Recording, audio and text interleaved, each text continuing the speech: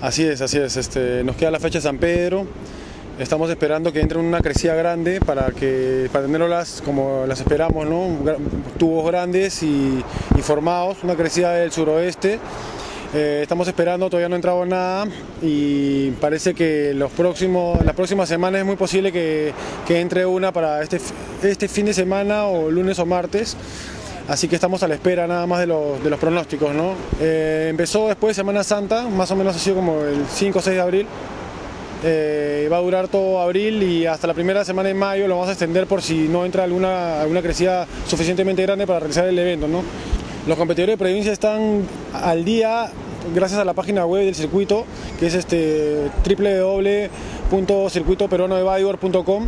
Ellos están todos los días ahí chequeando cualquier novedad, están chequeando también el pronóstico del mar, para que en cualquier momento ya con los conocimientos que ellos tienen, este, más o menos se comuniquen con nosotros y según nuestra confirmación ellos puedan venir eh, desde allá, pues, ¿no? Como nunca un circuito profesional de bodyboard ha estado tan apretado, falta una fecha y las cosas no están listas.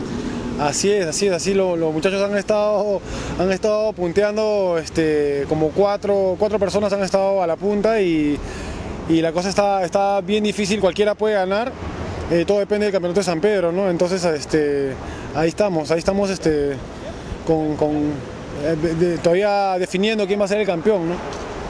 Además de la Open está eh, la Sub-18, está liderada me parece por Facioli ahorita. Eh, también este, vamos a tener damas, vamos a tener eh, sub-16 y vamos a tener la categoría de DK, el Dropney, ¿no? Eh, ahorita está liderando el Dropney, también me parece el chino Fun, igual que en el Open. Así está dobleteando. Está dobleteando, sí, está dobleteando este año. Hay los cuatro candidatos están que, están que entrenan todos los días, durísimo. está, la verdad está bien difícil saber quién, quién es el que se la va a llevar.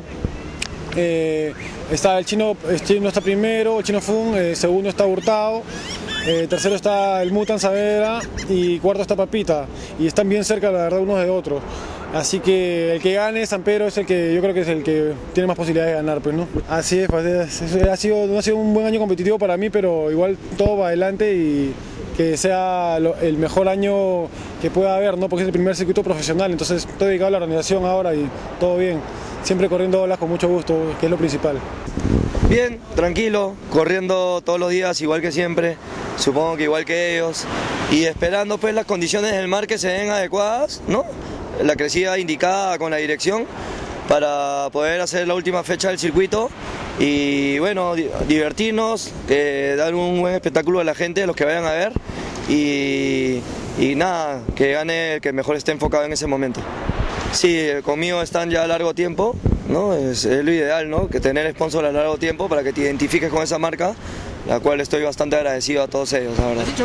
Yo creo que si gano, este, puedo campeonar.